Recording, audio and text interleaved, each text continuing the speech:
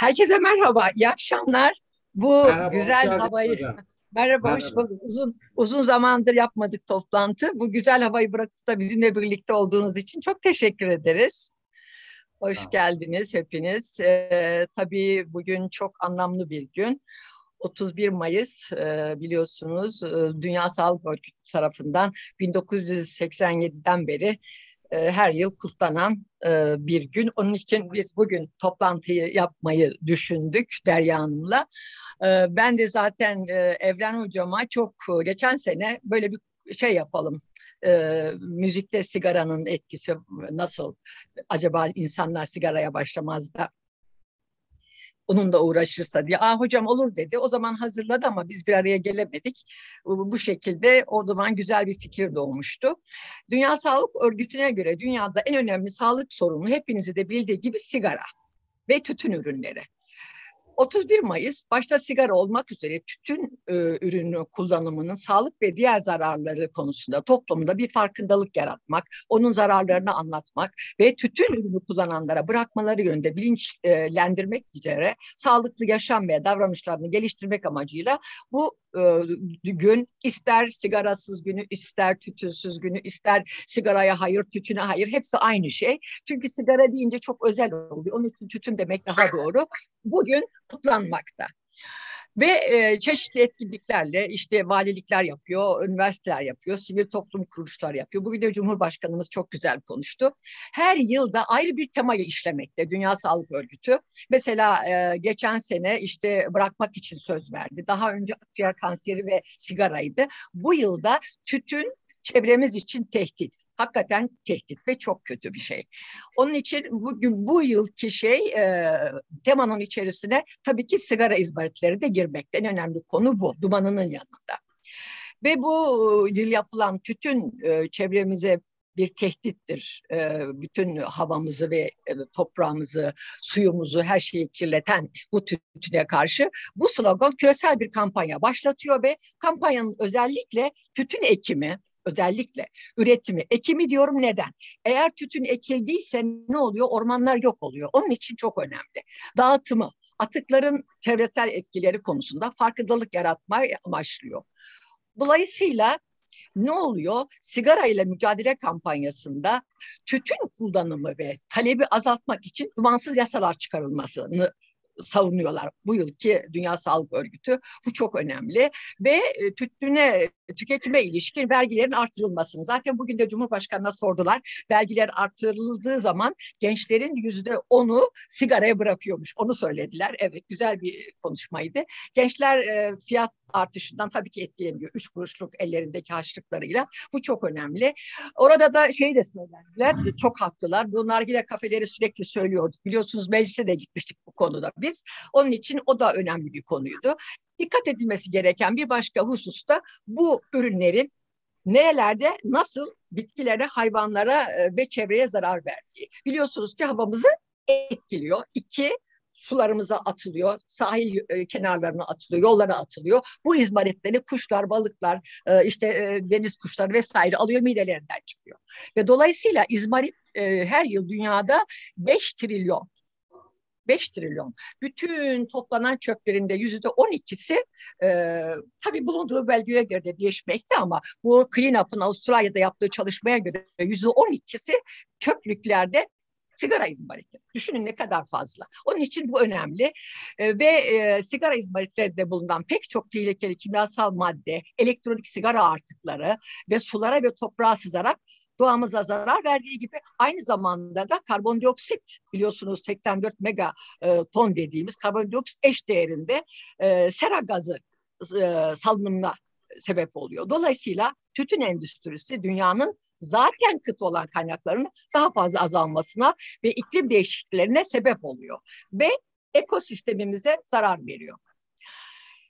Pek çok yaygın ve buna bağlı can kayıplarına neden olduğu ve yüzde elli Türkiye'de yüzde on da e, yurt dışında, e, Türkiye dışında olan yangınlara, orman yangınlarına neden olan insan, can kayıpları, orman yangınları bu da bir tarafa atılmaz. Çünkü izmaritler atıldığı zaman orman yangınları meydana gelmekte. Ve e, Bir de şu şey var, e, sigara e, paketlerinin dışındaki o plastikler işte e, milyonlarca ton yapılan işte alüminyum vesaire bunlar biliyorsunuz yok olmuyor. Bu plastiklerin atılması ile de e, ambalajlarının hava kiri şey çevreyi kirletmesine neden olmakta. Çünkü bunlar hiçbir zaman doğadan yok olmayan çevre ve ekosistemimize zarar veren oran şeyler, e, maddeler. E, aslında çok fazla söylememek lazımdı ama bir şeyler söyleyelim. Neden? Bu bizim internette verildiği zaman e, dinleyecekler tabii ki YouTube'dan. Ne kadar dünyada e, insan e, sigaradan kayboluyor? 8 milyon. Türk şeyde 7 milyonu direkt, 1 milyonu da e, pasif içici olarak e, hayatlarını kaybediyorlar. Evet, bu pasif içiciler çok önemli. E, bunlarda daha fazla sigaradan etkilenme oluyor şeyden normal içenlerden yan etki olarak daha fazla etkileniyorlar. Dolayısıyla e, ben hep söylerim sigaranın zararlarını oturup da size burada hastalıkları yapar, kanserler yapar bunları saymayacağım. Gebelerde şunu yapar, işte gebelerde düşükler vesaire yapar. P53 genini hep söylerim. Bu çok önemli. P53 geni bizi kansere karşı koruyan bir gen. O zaman P53 geni hasarlıysa anne de bu da bebeğine geçiyor. Dolayısıyla bebek de hasarlı oluyor biliyorsunuz ki sigaranın DNA'da yaptığı hasarın e, Aziz Sancar hocamız da söylemişti. E, bütün nesillere, torunlarına bile geçirmekte bu zararları. Evet, e, bildiğimiz gibi sigaranın içerisinde 5300 kadar e, zehirli madde olan, toksik katran vesaire olan ve de bunların çoğunun 70'in üzerinde kanser yaptığını biz biliyoruz. Siyanür, kurşun, naftalin vesaire gibi. Bunlar çok önemli. Evet. Şimdi bu e, şeye zarar veren, e, çevreye zarar veren e, sigaradan peki pasif içici ben içmiyorum, yanımdaki içiyor. Ne yapacağım? Bunu buradan söyleyelim ki çoğu insan bilmiyor. Yeşil dedektör diye telefonlarına indirebilirler bir. 184 tabimi arayabilirler iki. Bir de eğer bırakmak istiyorlarsa Alo 171. Yani bu pasif içicilere burada hani neler yapabiliriz? Biz bunun önüne nasıl geçebiliriz? İşte sahil kenarlarına atıyorlar, denizlere atıyorlar izmaritleri ne yaparız? Bunu gördüğü zaman resmini çekip gönderebilirler. Bizim daha temiz bir havaya ihtiyacımız var tabii ki ve de bu en tabii hakkımız bu yaşama hakkı gibi nasıl yaşayacağız? Havayla yaşayacağız. Bu çok önemli. Onun için de biz hem e, çevremizi hem okuldaki öğretmenlerin, imamların, bilmem nelerin hepsinin konuşmalarıyla etkilesin demiştik. Mesela ben ne yapıyorum? Elinden tutmuş çocuğunu sigara elinde içerek götürüyor gidiyor. Diyorum ki ben beyefendi pardon sigarayı çocuğunuza içirmeyin dediğim zaman ben çocuğuma içirmiyorum ki diyor. Bir bakıyorsunuz elindeki çocuğun ağzında sigaranın şeyi dumanı. Çok önemli.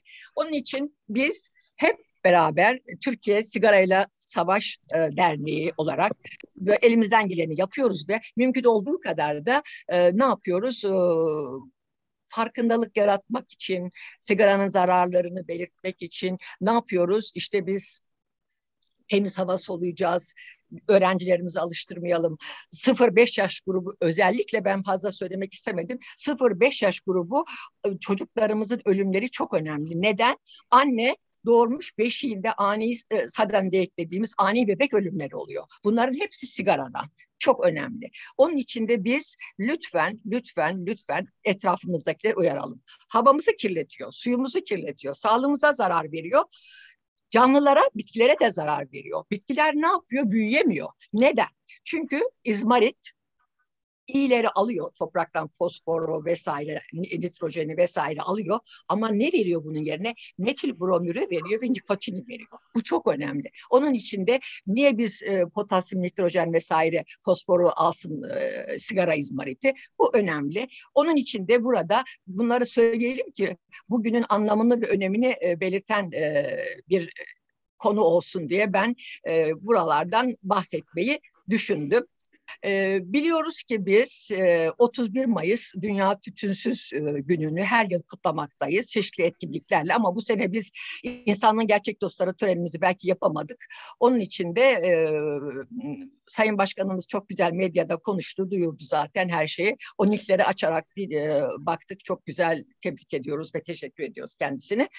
Biz e, bu tütünsüz günde ne yapıyoruz? Bir adım atabiliyoruz. Ne olur ne olur bir adım atalım. Ne olur kendimize söz verelim. Ne olur çocuklarımıza güzel bir hediye bırakalım. Gelecek nesillere çok çok güzel bir e, gelecek bırakalım. Sigara bağımlılığından kurtaralım.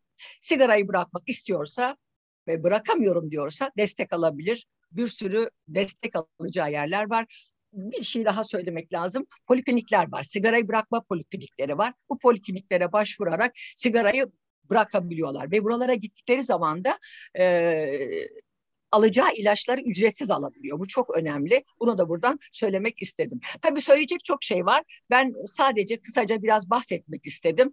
E, sigaranın zararlarını hepimiz biliyoruz ama bazı şeylerin üstünü vurgulamak istedim. Bilmiyorum e, her şeyi söylersek e, ben e, çok kıymetli bir konuğum var. O kıymetli konuğuma da e, bir şey vermem gerekiyor. Çok önemli. O bize bugün e, sigarasız bir e, yaşam için acaba e, müziğin şeyi var mı? Et, etkisi, müzik ne yapıyor, müzikle biz nasıl bırakabiliriz diye e, onu konuşacak. Müzik biliyoruz ruhumuzun gıdası ve ben e, kendisini de davet etmekten e, gurur duyuyorum. Müzikte iki şekilde e, bir etki var.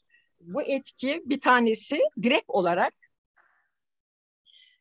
müzikle uğraştığı zaman kişi etkileniyor. Çalışmalar, araştırmalar göstermiş ki müzikte, güftede, seste de sigaranın zararları söylenebilirse ben burada e, şeyinkine e, Zeyha e, Hanım'ın şeyini koymak istemiştim. Onu internetten bulmuştum. Nerede, nereye koydum. Aslında açacaktık şeyi. Ee, onun çok güzel bir şeyi vardı. Ee, şimdi ben e, onu sonunda da dinletebiliriz. Biz vakit geçirmeden fazla geçmedi. Ee, çok değerli konuğumu davet etmek istiyorum. Profesör Doktor Evren Kutlay arkadaşım e, ve çok donanımlı. E, ben biliyorum tabii müzikolog, piyanist, e, şu anda Abant İzzet Baysal Üniversitesi'nde görevli ama acaba sevgili Evrencim. Evren Kutlay kimdir? Profesör Doktor Evren Kutlay. Siz biraz kendinizden bahseder misiniz? Kusura bakmayın. Almak zorunda kaldığım şeyi hani 31 Mayıs ya bugün. Beni bağışlayın herhalde. Estağfurullah hocam ne demek? Biraz ne da demek? hızlı konuştum. Hani biraz da hızlı konuştum. Evet, ekran çok iyi takip ettiğimizi düşünüyorum ben. Ee, çok teşekkür ederim öncelikle nazik davetiniz için. Ee, benim özgeçmişim e, klasik e, müzik hayatından biraz daha farklı. E, iki e, farklı daldan iki insanın e, takip edeceği bir e, kariyer yolculuğunu aslında e, yaşadığımı söyleyebilirim. Cağaloğlu Anadolu Lisesi'nde mezuniyetimin ardından aslında eş zamanlı sürdürdüğüm e, İstanbul Harsiyeret Konservatuarı'nda 9 yaşında başladım. Piyano eğitimim var. Cağaloğlu Anadolu Lisesi'nden mezun olduktan sonra Boğaziçi Üniversitesi Matematik bölümünde e, eğitimimi tamamladım. Yine konservatuarla birlikte ve ardından Amerika'da University of West Georgia'da tam burslu olarak e, ve araştırma görevlisi olarak çalıştığım işletme e, fakültesinde ve eş zamanlı olarak da yine müzik e, alanında yani hem MBA hem de e, müzik master'ımı piyano icracılık alanında tamamladım. Daha sonra e, ailemin de ısrarıyla yurda dönerek ve bir akademik e, kariyer e, tamamen planlanmamış olsa da e, tesadüflere dayanarak e, söz konusu olunca Türkiye'de e, müzikoloji doktora çalışmamı tamamladım. Yani alanı matematik ve işletmenin devamı olarak bir süreç yerine müzik cephesinden e, çift e, master ve çift e, çal, lisans çalışmalarım dolayısıyla e, devam ettiriyor oldum.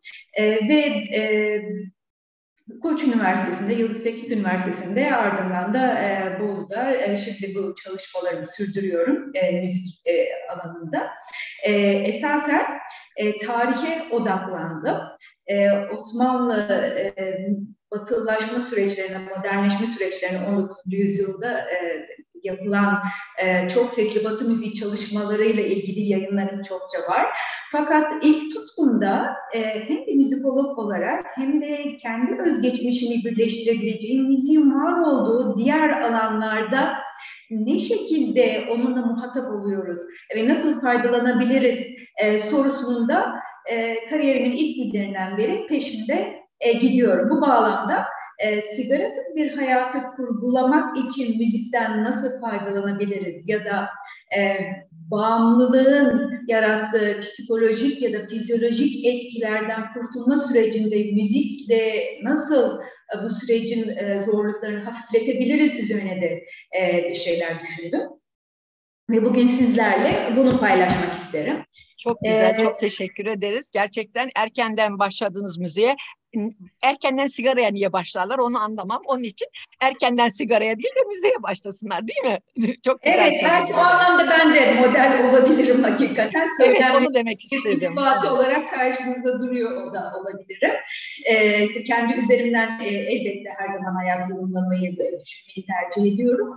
Ama bir bütüne de baktığımda yani alana baktığımda da hakikaten müziğin hayatımızda olmadığı hiçbir an, hiçbir durum yok. E, dolayısıyla e, aslında bunun farkında mıyız, değil miyiz ve bu e, süreçlerden ne şekilde faydalanabiliriz benim mutlak sorularımdan biri. Ee, gelecek günlerde de örneğin pazarlama ve müzik alanında bir e, kongre açılışında konuştum. O da benim ilk e, tutku duyduğum, yönlendiğim alanlardan biriydi. Yani müziğin hayatımızda bizi yönlendiren, iyi yönlendiren, e, gücünü fark edebileceğimiz alanları e, araştırmaktan, merak etmekten ve sorgulamaktan e, mutluluk duyuyorum. Tarih meselesi de ayrı bir tutku tabii. Elinde sigara niye olsun? O piyanoya dokunsun değil mi? Aynen tabii. Elbette, elbette. Yani meşgul olabileceğimiz, bize fayda sağlayabilecek e, bu kadar alan varken e, bunlardan biri de kuşkusuz müzik. Şimdi e, bahsedeceğiz. E, dolayısıyla e, ne şekilde faydalanabiliriz bir e, düşünelim. Şimdi ben öncelikle e, müsaade ederseniz başlamak isterim süremi iyi kullanmak için. Problemin ne olduğunu e, tanımlamak gerektiğini düşünüyorum bir matematikçi perspektifiyle. E, yani bağımlılığın e, öncelikle ne olduğunu bir düşünelim.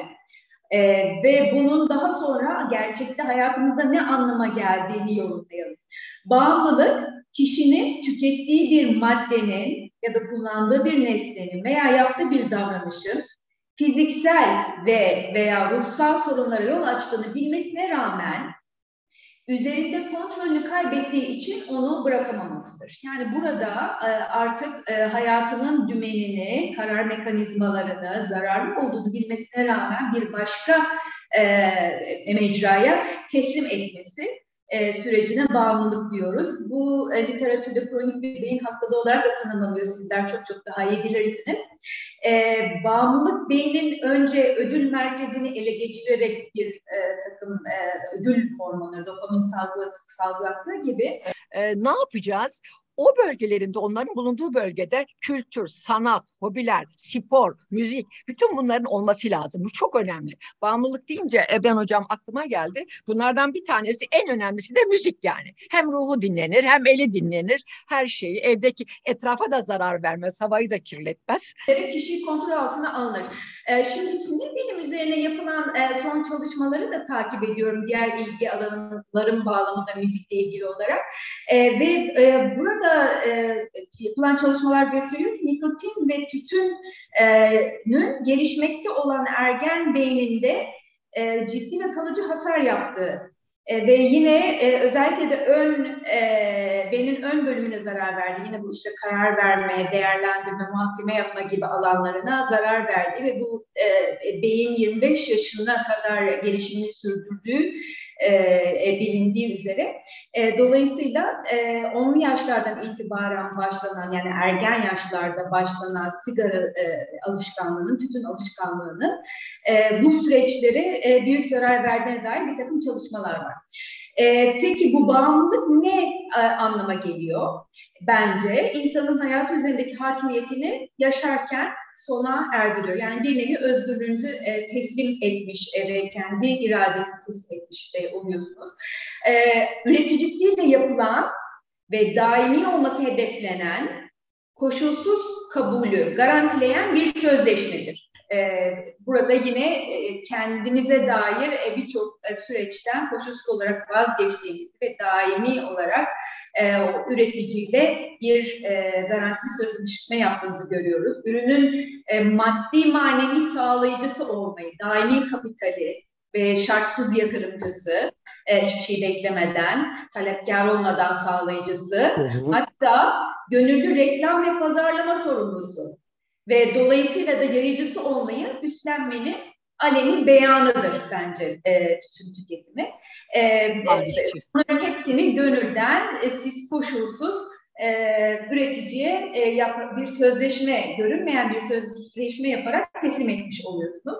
Peki bunları fark ettiğimizde bu süreçlerde maddi manevi bağlılıkla sağlığımıza, ruhumuza, fizyolojimize zararlarını bildiğimiz ve sonunun e, kötü süreçlerle sonuçlanacağını, canımıza mal olabileceğini bildiğimiz e, ve tek taraflı kazanıma dayanan e, bir ilişkiyi hayatımızın hangi alanlarında kabul edeceğimizi sorgulamamız gerekir diye düşünüyorum. Yani bu mesela arkadaşlık, böyle bir arkadaşlığın içinde olmak ister misiniz? Ya da böyle bir evliliğin içinde, böyle bir çalışma hayatının yani hiçbir e, sizin için hiçbir fayda sağlamayan e, fakat sizin daima orada olacağınızı e, canı gönülden bildirdiğiniz ve sürekli reklamını yaptığınız bir süreç veya okul hayatınızda yine aynı şekilde e, böyle bir sürece girer misiniz? Dolayısıyla bence bağımlılıktan e, kaçınmanın e, temel e, gereği e, bir e, farkındalık e, oluşturmak e,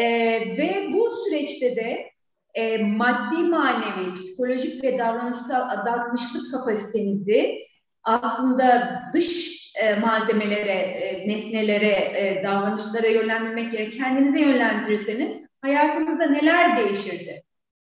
E, ve e, bu farkındalık geliştirerek seçimlerimizi idrak etmek ve olumlu çıkışa giden kararları aldırmak, e, irademizi uyarmak, uyandırmak, iyi seçtirmek e, ve tedaviye e, ikna etmek üzere güçlü bir adım olarak görüyor farkındalığı.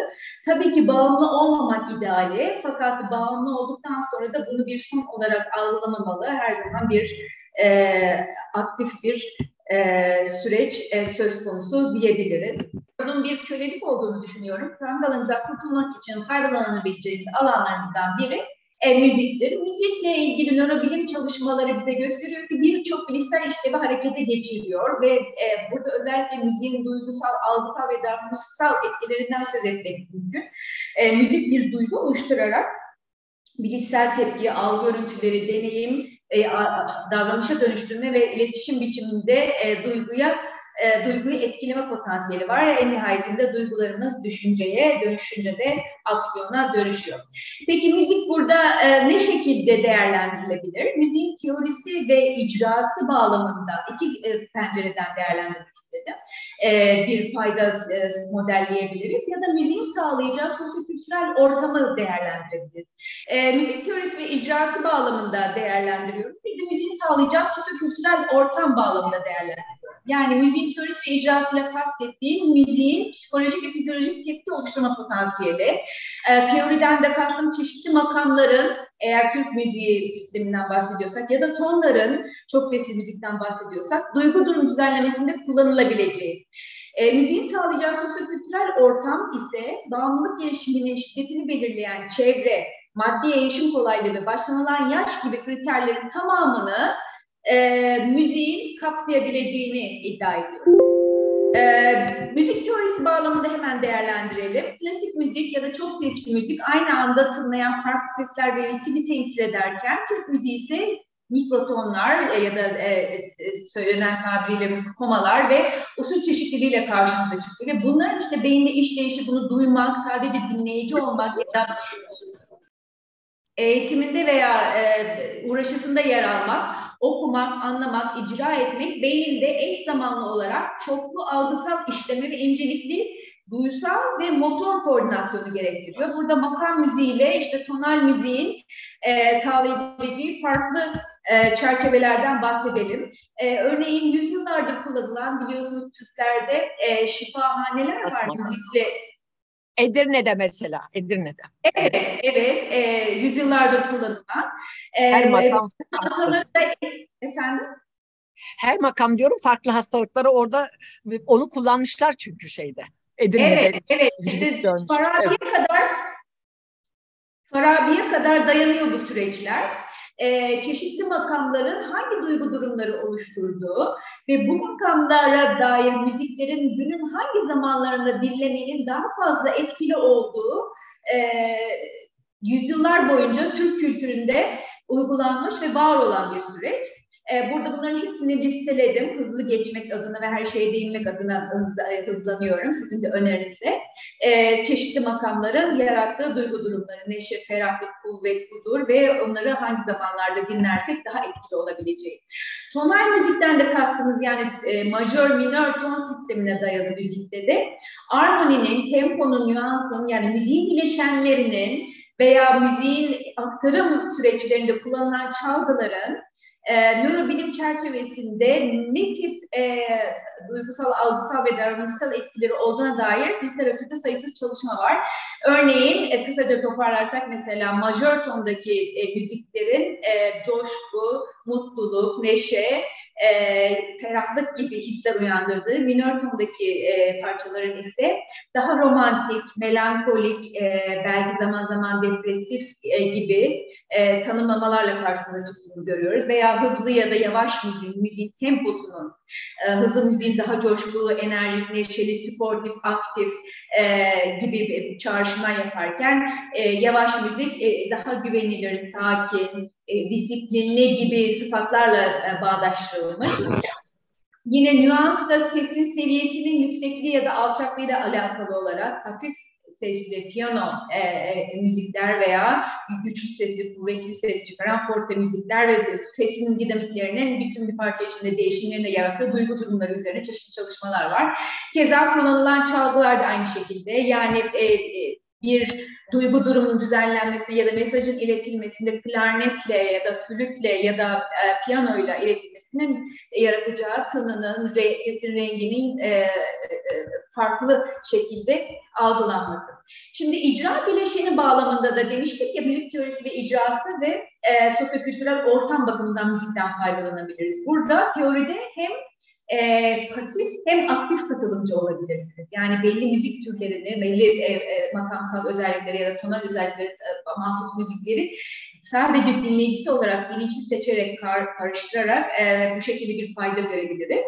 İcra bileşeni bağlamında da sigara kullanımıyla e, müziğin bir e, çalgı e, yardımıyla e, bağımlılık gelişimini engellemesini düşündüğümde e, sigara içme davranışının solunum sisteminden başlayarak vücudun tüm alanlarını e, sizin de demin bahsettiğiniz gibi e, Sayın Hocam e, kansere kadar giden ve çeşitli hastalıklara yol açan bir süreci var. Bu solunum sistemini etkisine almasında aynı zamanda mekanik bir el hareketi de e, istemsiz bir el hareketi de söz konusu e, ve kullanıcıların çoğu bunu el dudak tiryakiliği olarak tanımlıyorlar. İşte bu süreci sorguladığınızda e, üflemeli çalgılardan e, fayda e, görülebileceğini düşünüyorum. Çünkü aynı şekilde e, performansının tam idrak edilebilmesi için bir üflemeli çalgının iyi bir nefes sistemine, solunum sistemine e, nefes alıp vermeye e, ve yine aynı şekilde elin de e, bu, şey, bu icra ile meşgul olması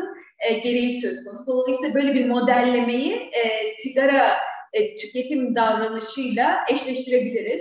Keza ses eğitimi de solo ses eğitimi ya da koro ile e, toplu icraların da yine aynı şekilde çünkü ses tellerine zararını yine aynı şekilde biliyoruz ve yine e, solunum sisteminde tam performans için e, nefesi doğru kullanabilmek için ses eğitiminin gereği. Dolayısıyla bu eğitimlere bağlanan ya da bu uğraşlarda meşgul olan kişilerin zaten kendi becerilerini e, arka plana atmamak üzere sigaraya yönlenmeyeceklerini düşünüyorum.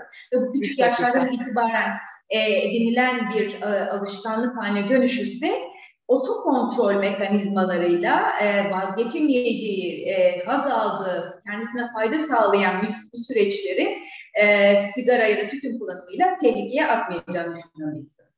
E, ve yine beden hareketlerinin ideal potansiyelin idraki ve sürdürülebilirliği oksijen kapasitesine bağlı olduğunda e, tüm çalgılar elbette ama batil gibi vurmalı çalgıların el, kol, e, bedenin tamamının e, ayak, e, bacak kaslarının tamamının adeta bir spora yönlenmişçesine e, beyinde e, e, süreçlerin dışında, müziğe dair süreçlerin dışında fiziksel e, yoğun kapasite ve oksijen e, kullanımı gerektirdiği için e, yine e, sigaradan e, kaçınma veya bağımlılığından kurtulma Kapanabilir süreçleri... aman. Aman kapanabilir. Faydalı olabileceğini şu iki dakika kaldığını görüyorum. Onu ona uygun olarak anlatıyorum. Evet. E, kültürel fayda olarak da e, orkestraların, müzik gruplarının koro gibi toplu icra alanları ile çevrenin e, pozitif yapılanması söz konusu olur. Bu erken yaşta katılım imkanını e, sağladığımızda bağımlılık ortamından uzaklaşmış, kişi takım çalışmasına e, yönelmiş ve böylelikle bütüne duyulan sorumluluk, az önce sizin de bahsettiğiniz gibi yanındaki, ben içiyorum ama yanımdaki içmiyor e, bu bir far, e, çevreye karşı farkındalığın kendi çocuğu dahi olsa farkındalığının olmadığını gösteriyor kişinin. Ona karşı böyle bir sorumluluk duymadığını gösteriyor. İşte sorumluluk, e, bütüne duyulan sorumluluk duygusu görev mekanizmaları dolayısıyla topluluk içinde gelişecek ve aynı şekilde bu takıma duyulan e, bağlılık pekişecek e, ve gruba aidiyet inşasında fayda sağlayana bağlılık genç yaşlardan itibaren pekiştirilerek deneyimle e, geliştirilecek. Size bir de örnekten bahsetmek istiyorum. Müzikli bir temsil. E, The No Smoking Orchestra yani sigara içmeyen orkestra Sırp sanatçı e, ya sigaranın yasak olduğu orkestra Emir Kusturuko ile birlikte e, yer alıyor ve özgürlük e, e, temsilini e, vurguluyor. Burada özgürlük felsefesinde sigarasızlığı zaten grubun ismi e, e, sembolize e, ediyor oluyor. Bir uzantı da koydum.